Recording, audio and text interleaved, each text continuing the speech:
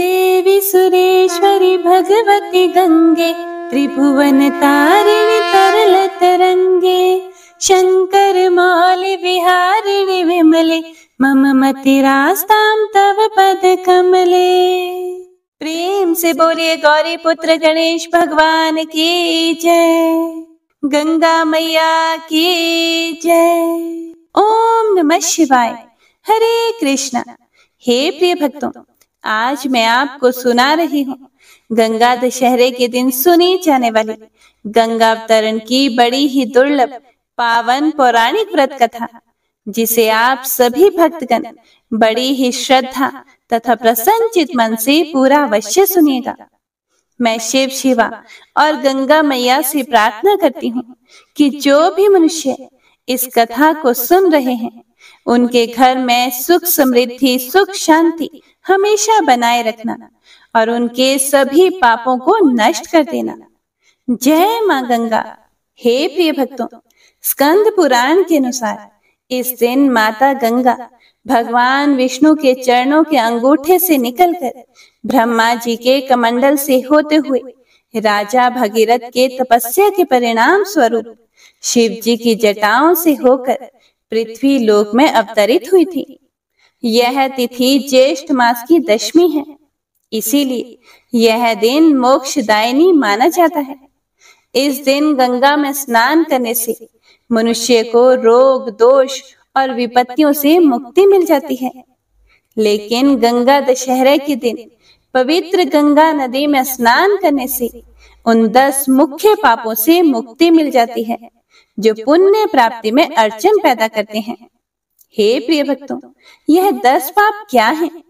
देखिए, किसी के घर का बिना पूछे कोई सामान उठाकर हमने भोग कर लिया हो।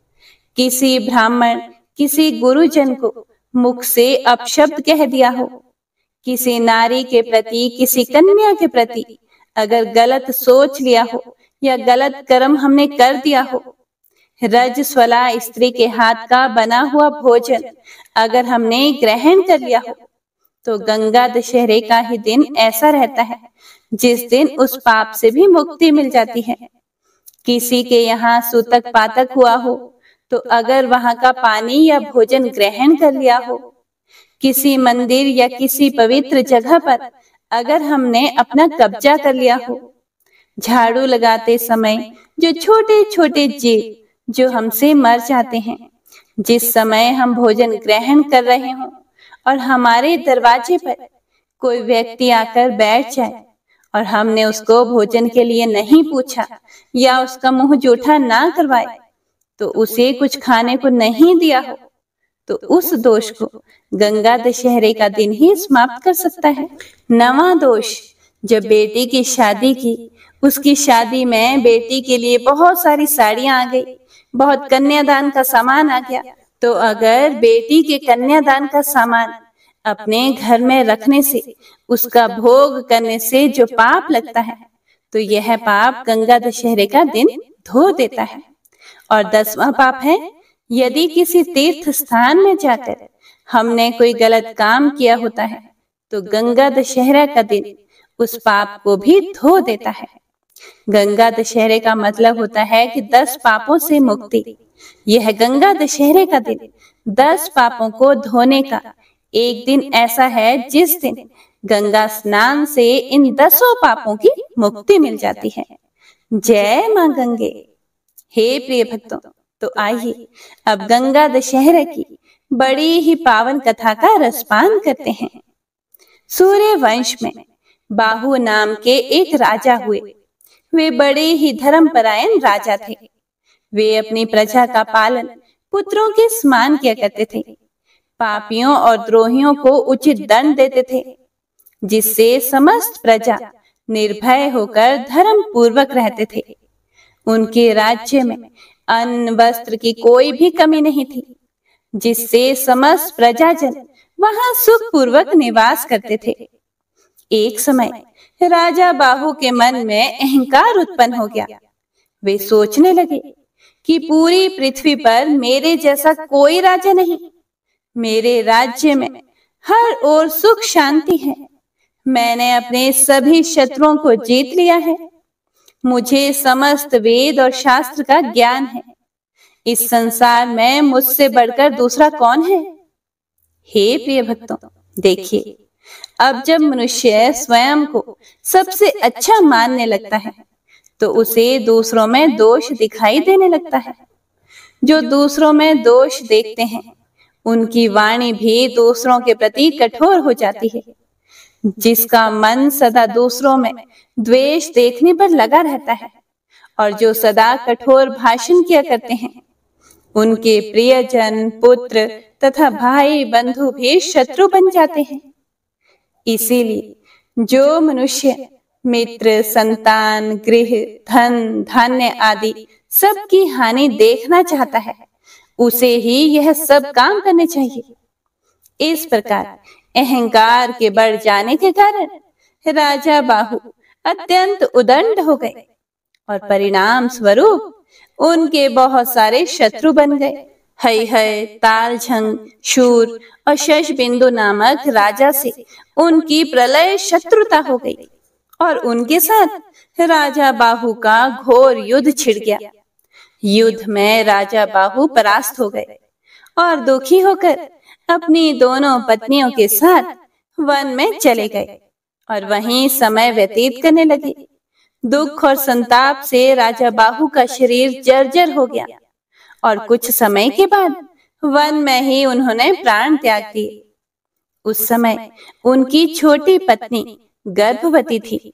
पति के गुजर जाने से उन्हें बहुत दुख हुआ।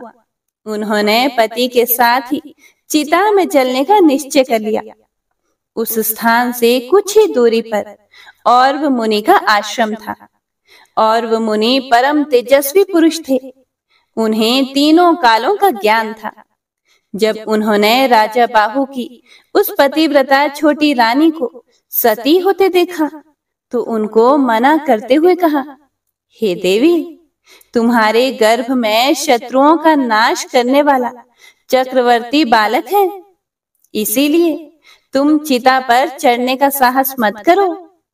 वैसे भी शास्त्रों में गर्भवती स्त्री के सती होने का निषेध है। यदि तुम स्वयं अपनी इच्छा से सती होना चाहती हो। पर तुम्हें अपने गर्भ में पल रहे शिशु की हत्या करने का अधिकार नहीं है। इसीलिए तुम्हें यह पाप नहीं करना चाहिए। हे प्रिय भक्तों मुनि के इस प्रकार कहने पर रानी उनकी बात मान गई और फिर दोनों रानियों ने मिलकर पति का विधि पूर्वक अंतिम संस्कार किया। और ऋषि के कहने पर उन्हीं के आश्रम में रहने चली गई। और वो मुनि के आश्रम में रहकर दोनों रानियाँ महर्षि की सेवा सत्कार में समय व्यतीत करने लगी। पर छोटी रानी अपने कुल के संस्कारों के कारण धर्म कर्म में विशेष रुचि लेती और और वो मुनि के सुंदर प्रवचनों को अपने हृदय में धारण करके हमेशा परमेश्वर के ध्यान, भजन में संलग्न रहती थी। जिससे बड़ी रानी के मन में उनके प्रति ईर्ष्या होने लगी। और एक दिन बड़ी रानी ने छोटी रानी को भोजन में जहर मिला कर दे दिया। हे प्रिय भक्तों, पर ईश्वर की कृपा से छोटी रानी पर उस जहर का कोई भी प्रभाव नहीं पड़ा और ना ही गर्भ में पल रहे शिशु पर।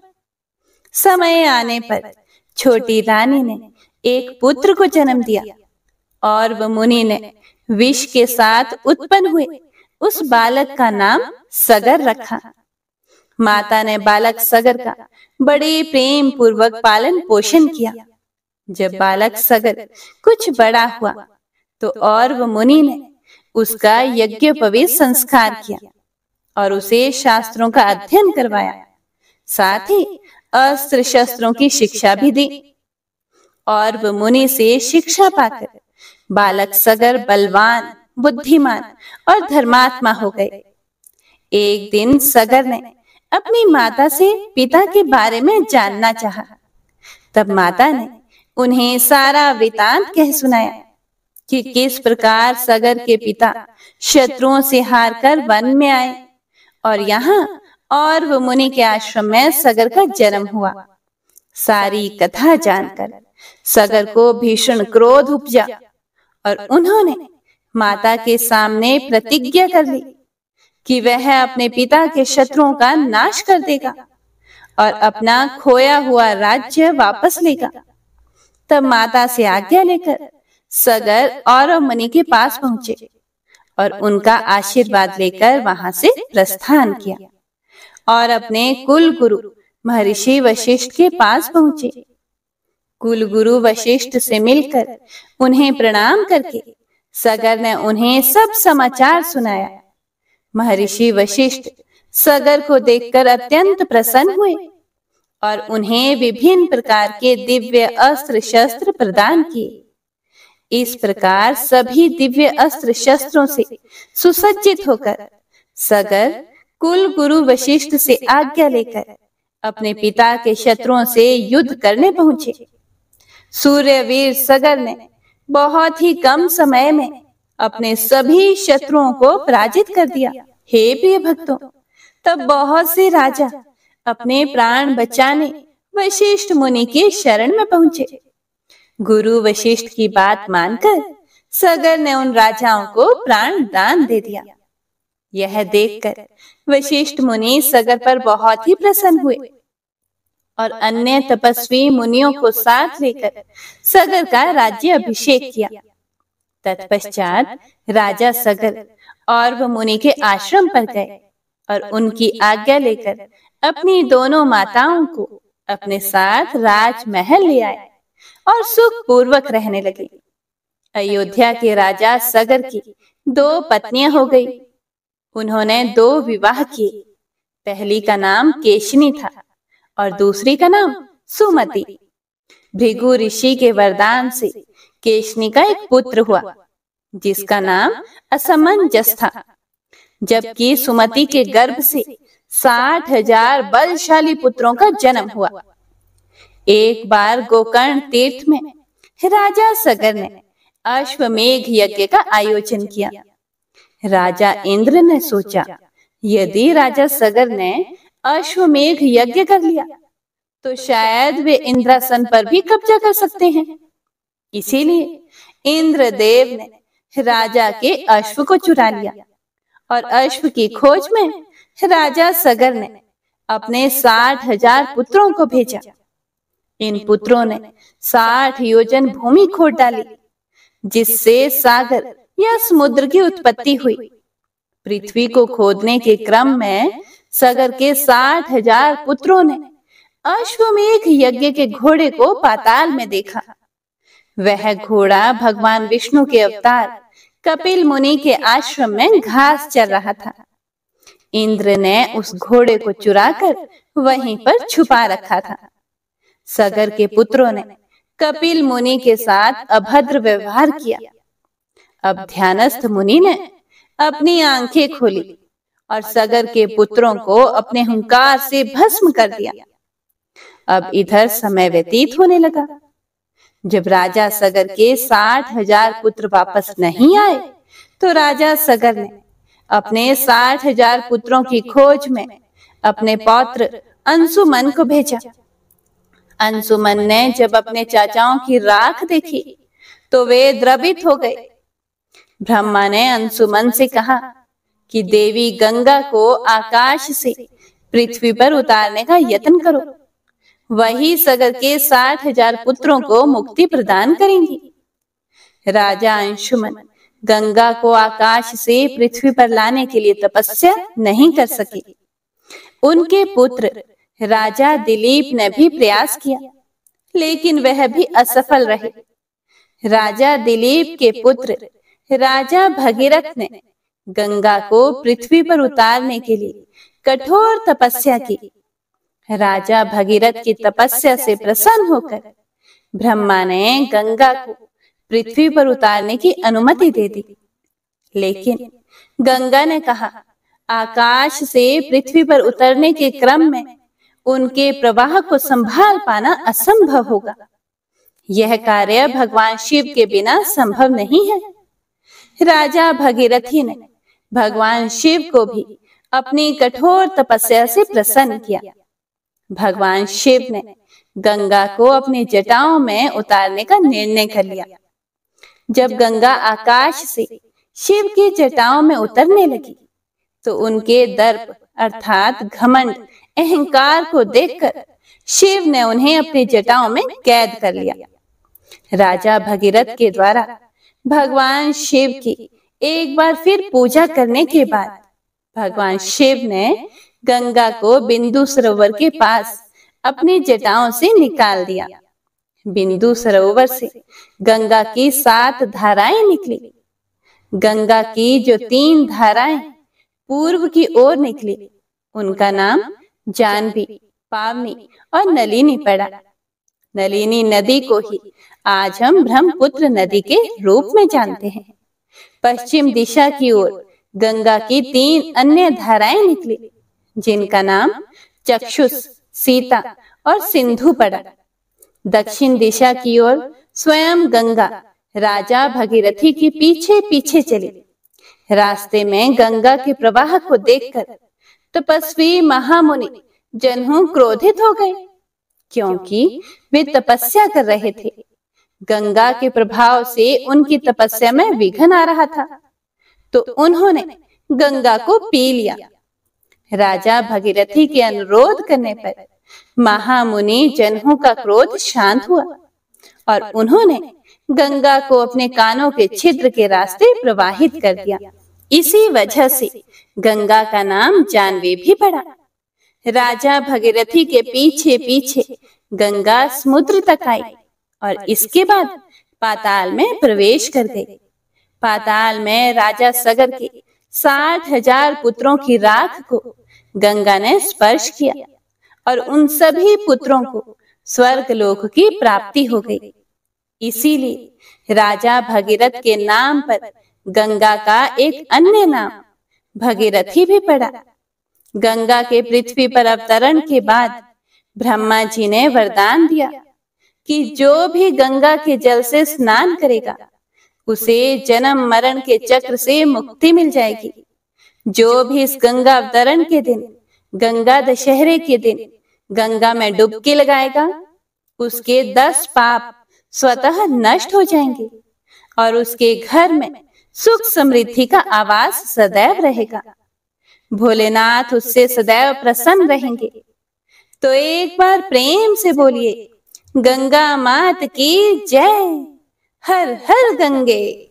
हे गंगा मैया, जैसे आपने भागीरथ के कार्य को सिद्ध किया, उनके पूर्वजों को मुक्ति दिलाई, वैसे ही इस कथा कहानी को सुनने वाले और कहने वाले, हुंकारा भरने वाले, सभी भक्तों पर अपनी कृपा दृष्टि बनाए रखना, सभी के कार्य सिद्ध करना, सभी के पापों को नष्ट करना।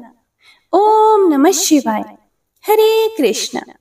हे प्रिय भक्तगण, गंगा दशहरा व्रत कथा को भगवान विष्णु माता लक्ष्मी को सुनाते हुए बोले, हे प्रिय, सौराष्ट्र नामक स्थान पर एक गाँव में एक व्यक्ति रहता था। जाति से तो वह ब्राह्मण था, परंतु अपना ज्ञान कभी भी किसी को नहीं बांटता था। वह प्रतिदिन घर घर जाकर मांग कर लाता और अपना पेट भरता और जो शेष बचता उसे वह इकट्ठा कर करके रख लेता। किंतु कभी भी दान पुण्य नहीं करता। गंगा दशहरे के दिन गंगा में स्नान नहीं करता। कभी पूजा पाठ उपवास नहीं करता। कुत्ते और गाय को भी वह रोटी नहीं देता। समय बीतता गया। परंतु संचय करने की उसकी आदत में कोई बदलाव नहीं आया। एक दिन उसकी मृत्यु हो गई। इसीलिए यमराज के दूत यमराज जी से बोले, हे प्रभु, यह जाति से ब्राह्मण है। इसीलिए आप इसे इच्छित योनि दीजिए। वह बोले, इसने अपने जीवन में ना तो कभी अपना ज्ञान बांटा और ना ही कभी गंगा दशहरे के दिन दान पुण्य किया, ना ही गंगा में स्नान किया, केवल संचय करने का ध्यान रखता है। व्रत उपवास नहीं किए इसे कुत्ते की योनि दे दो। हे प्रिय भक्तगणों, वह कुत्ता बनकर मृत्यु लोक में आ गया। भूख से तड़पता हुआ वह घर घर जाता और भोंकता, परंतु कोई उसे रोटी नहीं देता। भूख के कारण बिलखता हुआ वह मर गया।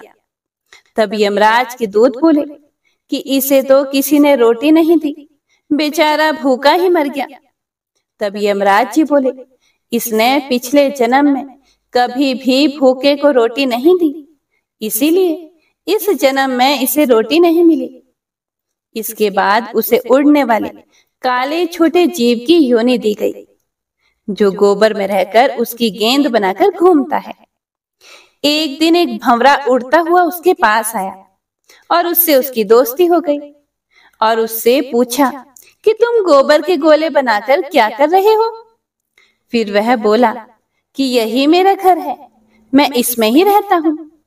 फिर भंवरे ने कहा, कि मैंने तो तुम्हारा घर देख लिया, अब तुम मेरे घर चलो। वह बोला, मैं कैसे जा पाऊँगा? तुम तो ऊपर उड़कर चले जाओगे, मैं इतना उड़ नहीं सकता। भंवरा अपने पंजों में पकड़कर उसे ले गया। एक सुंदर बाग में फूल पर बैठाकर बोला, देखो यह मेरा घर है। उसने कहा कि तुम्हारा घर तो बड़ा ही सुंदर है। आज मैं यहीं रहूँगा। फिर भंवरा बोला कि ठीक है। रात होने से पहले फूल से निकलकर पत्तों पर आ जाना। इस तरह ठीक है कहकर वह कीड़ा वहीं बैठा रहा।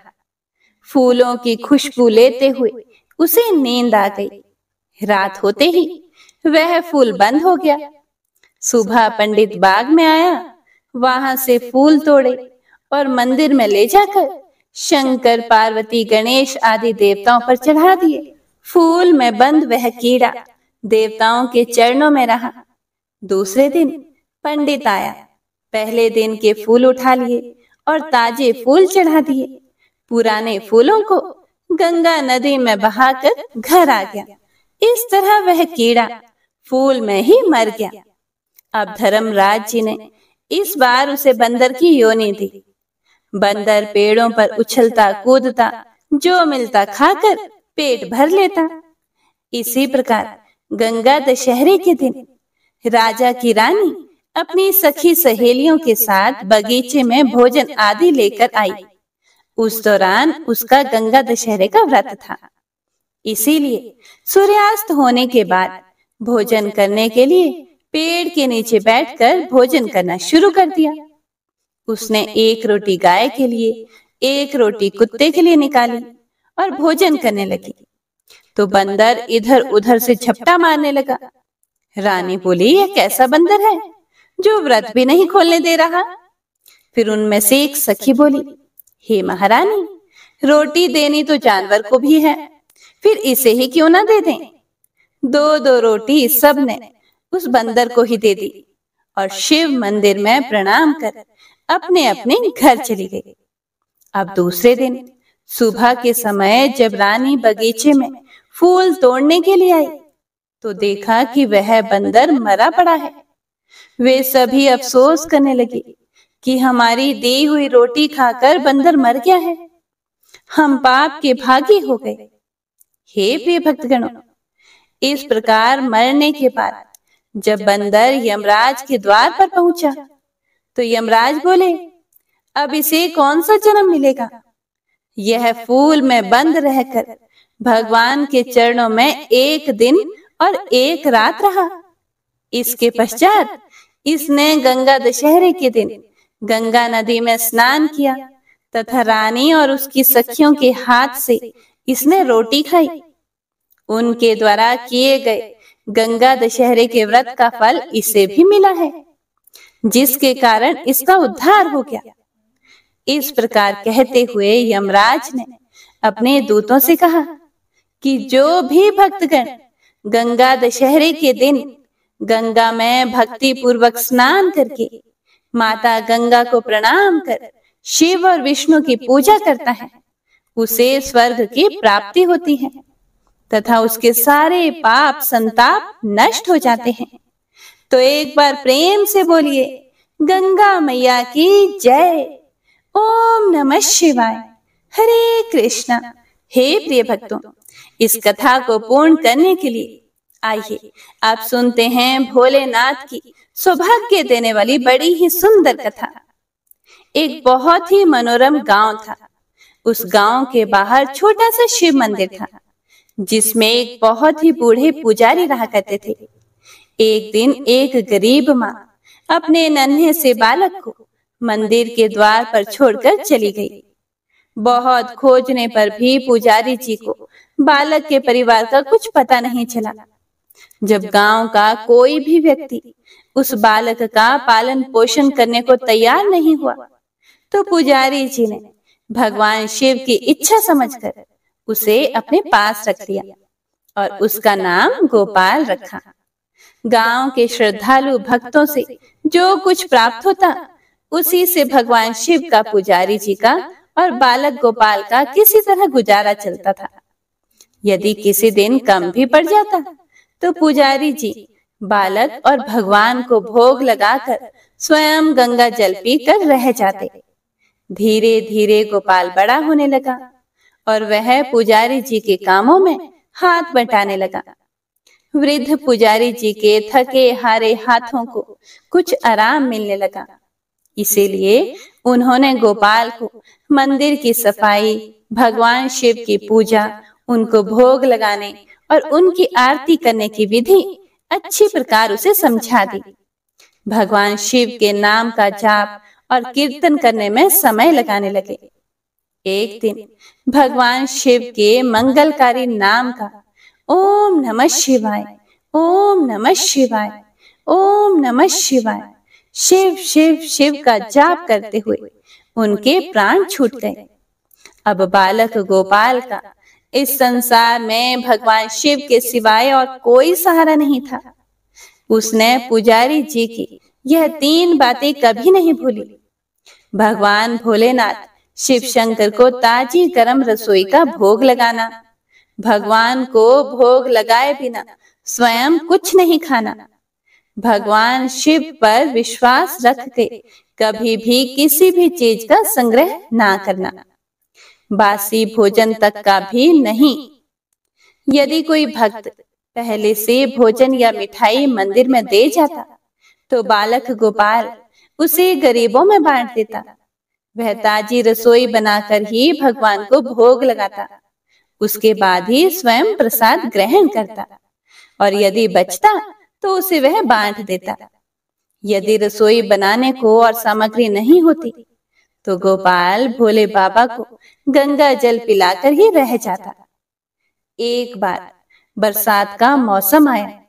तीन चार दिन तक मूसलाधार वर्षा होती रही। और मंदिर में एक भी भक्त नहीं आया। गोपाल अपने भोले बाबा को गंगा जल का ही भोग लगाता रहा और बेचारा खुद भी उसी गंगा जल को पीकर रह जाता। हे प्रिय भक्तों, अब देखिए, भगवान भोलेनाथ बालक की भक्ति और सहनशीलता की परीक्षा भी ले रहे थे। किंतु आखिर में अपने भक्त बालक को भूख से तड़पता देखकर भगवान से रहा नहीं गया। और वहाँ माता पार्वती तो ममता मई है ही। वे सेठ के नौकर का रूप धारण करके, हाथ में भोजन सामग्री की बहुत सारी पोटली लेकर वर्षा में भीगते हुए मंदिर के द्वार पर आ पहुँचे। उन्होंने आवाज़ लगाकर गोपाल को बुलाया और उसके हाथ में पोटली देते हुए बोले कि सेठ जी ने यह कच्चा राशन भेजा है। इससे रसोई बनाओ और भोग लगाओ। और स्वयं भी प्रसाद पाओ। मैं कल फिर आऊँगा। गोपाल ने आशीर्वाद देकर उसे विदा किया और सूखी गीली लकड़ियों से धुएँ में गरम रसोई बनाकर भोले बाबा को भोजन कराया। पूरे बरसात के मौसम में भोले बाबा नौकर के भेष में गोपाल के घर आते हैं और सीधा दे जाते और स्वयं भी गरम गरम रसोई का भोग पाते। एक दिन गोपाल ने सोचा कि सेठ जी को सीधा भेजते हुए चार महीने हो गए हैं, किंतु वे स्वयं कभी मंदिर में नहीं आए। कभी भोले बाबा का प्रसाद भी ग्रहण नहीं किया। अगले दिन जब भोले बाबा नौकर के भेष में पोटली लेकर आए तो वह भोला भक्त गोपाल बोला, कि अरे भाई, तुम्हारे इतने धर्मात्मा सेठ जी कभी भी स्वयं मंदिर में प्रसाद लेने नहीं आते। इस कारण मेरा हृदय अत्यंत ही दुखी हो रहा है। अपने सेठ जी से कहना कि कल वे मंदिर में प्रसाद ग्रहण करने के लिए अवश्य पधारे। यह सुनकर नौकर बने भगवान शिव चौंक कर घबरा गए और बोले, अरे पुजारी जी, सेठ जी मेरे द्वारा आपको सीधा भेजते हैं ना? आपको राशन तो भेजते हैं। आप इससे पकवान बनाइए। भोले बाबा को भोग लगाइए और स्वयं भी प्रसाद खाइए। फिर सेठ जी को बीच में बुलाने की क्या ज़रूरत पड़ गई? जैसा चल रहा है, वैसा चलने दीजिए ना। गोपाल बोला, ऐसे कैसे चलने दो? आपके धर्मात्मा सेठ जी इतने दिनों से भगवान भोलेनाथ को प्रसाद बनाने के लिए इतना सारा राशन भेजते हैं। क्या मैं उन्हें भगवान का प्रसाद देने का अपना कर्तव्य भी पूरा ना करूँ? मैं किसी का उधार खाने वाला नहीं हूँ। अपने सेठ जी से कह देना यदि कल भोले बाबा का प्रसाद ग्रहण करने वे नहीं पधारे तो मैं उनका सीधा लेना बंद कर दूँगा। मैं उनसे कोई भी सामग्री नहीं लूँगा। नौकर बने भोले बाबा अपने भोले भक्त की अकड़ देखकर काँप उठे और यह सोचकर मन ही मन हंस भी रहे थे। अरे वाह, आज तो लेने वाला ही देने वाले पर धौस दिखा रहा है। लेकिन सरल हृदय भक्त के मनोभाव पर रीझ कर वे बोले कि ठीक है, पंडित जी कल सेठ जी मंदिर में प्रसाद ग्रहण करने अवश्य आएँगे। हे प्रिय भक्तों, अब देखिए, दूसरे दिन बड़े ही सवेरे भोले बाबा नौकर के भेष में दूध और बहुत सारी सामग्री लेकर मंदिर पहुँच गए। गोपाल चौंकते हुए बोला, भाई, आज इतना सारा सीधा किस लिए?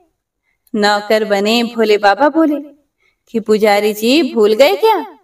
आज आपने सेठ जी को प्रसाद के लिए बुलाया है। इसीलिए आप बड़े ही मन से स्वादिष्ट रसोई बनाइए। और भोले बाबा को भोग लगाइए। और हाँ यह तो बता दो कि सेठ जी किस समय पधारे? अब तो गोपाल ने प्रसन्न होकर उन्हें सेठ जी के आने का समय बता दिया। हे प्रिय भक्तों, देखिए, अब भोले भक्त की इच्छा पूर्ण करने के लिए भोलेनाथ कैलाश पर सेठ जी का रूप धारण करने लगे। उधर अपने स्वामी को, अपने प्यारे भक्त के यहाँ खाने पर जाने का समाचार सुनकर। ममता मई अन्नपूर्णा माँ पार्वती भी भला कैसे पीछे रह सकती थी? वे भी पति की आज्ञा लेकर सेठानी जी का रूप धारण करने में जुट गई। भोले बाबा ने अपने गले में मुंडों की माला उतार दी। शरीर पर लगी भस्म कमर पर पहना हुआ बागंबर बाहों और कानों में पहने सर्पों के हार भी उतार दिए। उन्होंने एक मखमल सुंदर कुर्ता धारण किया। अपनी जटाएँ सीधी कर गंगा और चंद्रमा को उसमें छुपा लिया। ऊपर से एक सुंदर सी रंग बिरंगी पगड़ी पहन ली। सदैव नंगे पैर विचरण करने वाले हमारे शिव जी आज अपने पैरों में रेशमी जूतियाँ धारण कर ली थी। हाथ का त्रिशूल और डमरू भोले बाबा ने नंदी के हाथ में थमा दिया और अपने हाथ में एक सुंदर छड़ी लेकर पार्वती जी की प्रतीक्षा करने लगी और खूब ठाट बाट से कैलाश पर्वत पर चहल कदमी करने लगे। उधर पार्वती जी घंटों से अपना श्रृंगार करने में जुटी हुई थी। उन्होंने सुंदर बनारसी साड़ी पहन ली, जिसका रंग सेठ जी के कुर्ते से बहुत ही मैच कर रहा था। उन्होंने सोने चांदी हीरे के जगमगाते हुए आभूषण धारण कर लिए।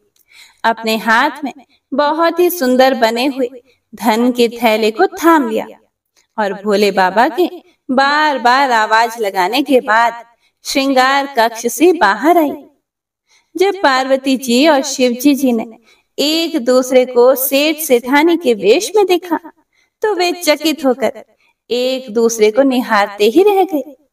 दोनों एक दूसरे को देखकर निहाल हो रहे थे। कभी एक दूसरे का ऐसा स्वरूप नहीं देखा था। जब भगवान गौरी शंकर सेठ सेठानी का रूप धारण करके कैलाश से अपने भक्त के यहाँ दावत खाने चले तो गणेश जी और कार्तिकेय भगवान, नंदी जी, ऋषि मुनि, देवता, देवांगनाएँ उन्हें देखकर ठगे से रह गए। उनकी भी तो इच्छा थी, परंतु क्या करते? बुलावा तो सिर्फ़ सेठ जी और सेठानी जी रूपी भगवान शिव जी माता पार्वती को ही था। सेठ बने शिव जी अपने हाथ में ली हुई छड़ी को बड़े ही मज़े से घुमाते हुए पृथ्वी पर टहलते हुए चल पड़े और उनके पीछे पीछे माता पार्वती, उनके पाओ की पायल जो कि छन छन मधुर ध्वनि करती हुई मंदिर में प्रवेश करती हैं। अपना भोला भक्त जो कि गोपाल आज बहुत ही सुबह उठकर सेठ जी के स्वागत में भांति भांति के पकवान बनाने में जुटा हुआ था। अपने भोले बाबा का भोग वह चलते फिरते तो बना लेता था, किंतु आज उसे कई महीनों से भगवान को भोग लगाने के लिए सीधा राशन भेजने वाले सेठ जी को प्रसाद जो देना था। इसीलिए आज उसने अपनी सारी पाक कला झोंक डाली। उसने सेठ जी द्वारा भेजे हुए चावल धोकर खीर बनाई। सेठ जी द्वारा भेजे हुए पिस्ते, बादाम, केसर, चिरौंजी, किशमिश डाले और साथ ही बड़े प्रेम से आटे को गूंद कर लोइया बनाकर उससे पूरियाँ बनाई। रसोई बनाकर भोला भक्त पुनः स्नान करने चला गया ताकि स्वच्छ वस्त्र पहनकर भोले बाबा को भोग लगा सके। और सेठ जी उसका प्रसाद पा सके। जब भोला भक्त गोपाल स्नान करके लौटा तो देखा सेठ जी प्रसाद ग्रहण करने के लिए स्वयं तो आए ही हैं और संघ में अपनी सेठानी जी को भी लाए हैं। दोनों का आदर सत्कार किया उन्हें आसन देकर बैठाया और बोला मैं अभी भगवान को भोग लगाकर आता हूँ फिर आपको प्रसाद परोसूँगा। भावना के भूखे भोले बाबा से भूख सहन नहीं हो पा रही थी। इसीलिए वे बोले कि पुजारी जी, भगवान को जल्दी से भोग लगाकर आइए। मुझे भूख सहन नहीं हो रही। भोला भक्त गोपाल बोला, सेठ जी, भूख तो मुझे भी बड़ी ज़ोर से लगी है। किंतु मैं अपनी भूख के कारण अपने भगवान को भोग लगाना थोड़ी ही भूलता। यदि दुनिया के सारे लोग इसी तरह अपनी भूख के लिए भगवान को भोग लगाना भूल जाएँ, तो भगवान तो भूखे ही रह जाएँगे।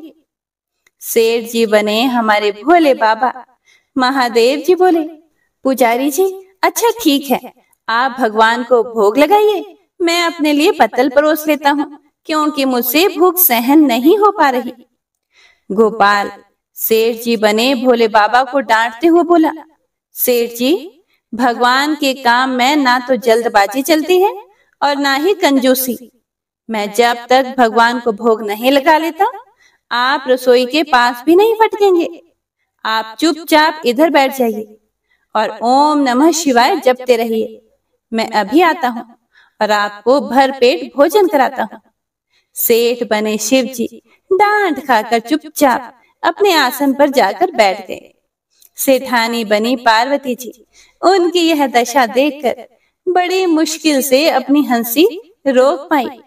लेकिन जैसे ही भोला भक्त गोपाल पत्तल में सामग्री लेकर भगवान को भोग लगाने मंदिर में गया, भगवान शिव पार्वती जी को मौन रहने का संदेश देकर चुपके चुपके पैर रखते हुए रसोई में गए और उन्होंने एक एक व्यंजन उठाकर चखना शुरू कर दिया।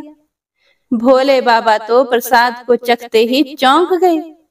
खीर में चीनी की जगह नमक भरा हुआ था।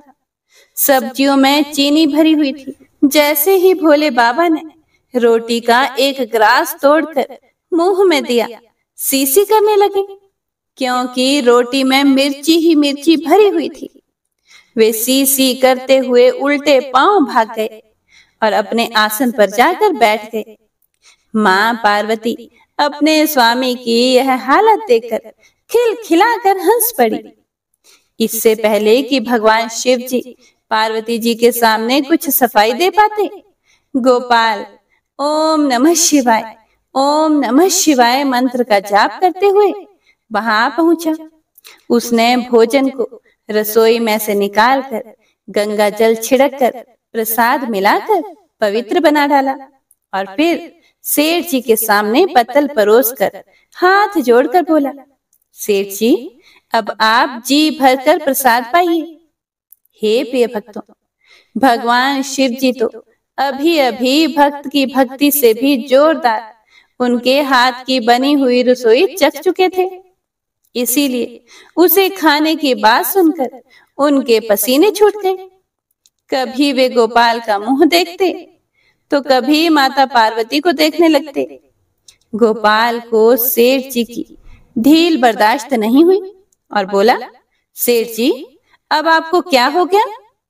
अभी अभी तो इतने उतावले थे, आपको भूख लगी थी, अब आप भोजन क्यों नहीं करते? अगर आप भोजन ग्रहण करेंगे, तभी तो माता जी प्रसाद ग्रहण करेंगी और फिर मैं पाऊँगा। गोपाल की ललकार सुनकर भोले बाबा ने चुपचाप खीर का कुल्हड़ उठाया और सारी नमकीन खीर गटागट पी गए। कुल्हड़ खाली होने की देर थी कि वह भोला भक्त गोपाल ने उसे झट से भर दिया।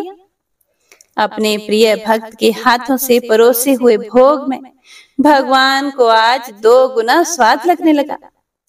जगत जननी माता पार्वती भक्त और भगवान दोनों के प्रेम को देखकर मंत्र मुग्ध होती रही।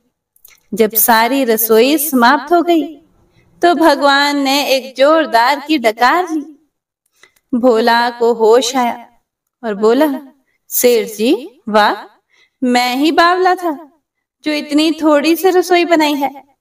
अरे, मुझे पता होता कि आपको प्रसाद ग्रहण करना इतना अच्छा लगता है। तो मैं और ज़्यादा रसोई बनाता।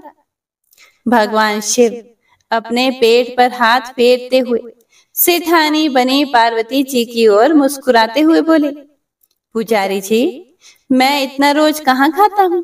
किंतु आज प्रसाद इतना स्वादिष्ट बना था कि अपने पर वश ही नहीं कर सका और खाता ही चला गया। किंतु तभी गोपाल बोला कि सेठ जी ये तो आपने ठीक नहीं किया। माता जी तो भूखी ही रह गई। वे क्या खाएँगी? ममता मई पार्वती जी ने उस भोले भक्त गोपाल को दुखी देखकर उन्होंने बची हुई खीर की चार बूंदे अपने कंठ में डाल ली। भोले बाबा द्वारा भोग लगाने से प्रसाद में अलौकिक तेज और स्वाद भर गया था। ऐसी सुगंध और मीठी खीर चखकर जगत जननी तृप्त हो गई और उनके तृप्त होते ही सृष्टि का प्रत्येक प्राणी तृप्त हो गया। भोला भक्त गोपाल बोला, सेठ जी, आपने और माता जी ने प्रसाद तो ग्रहण कर लिया। इससे मुझे बहुत ही संतोष हुआ। समझ लीजिए कि आप दोनों द्वारा प्रसाद ग्रहण करने से मेरा भी पेट भर गया। मेरी तो वैसे भी महीने में चार चार एकादशी हो जाती है। किंतु मैं भी एक दाना ले ही लेता हूँ। जिससे कि भगवान के प्रसाद का अनादर ना हो। यह कहकर, जैसे ही गोपाल ने खीर के पात्र में लगा चावल का एक दाना उठाकर अपने कंठ में डाला, उसकी जन्म जन्मांतर की भूख प्यास मिट गई और समस्त वासनाओं और इच्छाओं की तृप्ति हो गई। उसके ज्ञान के नेत्र खुल गए और उसने देखा, उसके सामने त्रिलोकीनाथ भगवान शंकर और जगत जननी पार्वती जी आशीर्वाद मुद्रा में मुस्कुराते हुए खड़े गोपाल दौड़कर उनके चरणों में गिर पड़ा और भक्ति पूर्वक अपनी अश्रु धारा बहाता गया। तो एक बार प्रेम से बोलिए, जय भोलेनाथ, ओम नमः शिवाय। हे प्रभु, हे शिव शंकर, जिस प्रकार आपने उस भोले भक्त को दिया, उसे दर्शन दिए उसे कृतार्थ किया। वैसे ही अपने सभी भक्तों को करना। कहानी सुनने वाले सुनाने वाले और हुंकारा भरने वाले सभी का कल्याण करना। कथा अधूरी हो तो पूरी करना पूरी हो तो मान करना। हर हर गंगे ओम नमः शिवाय। जय माँ पार्वती।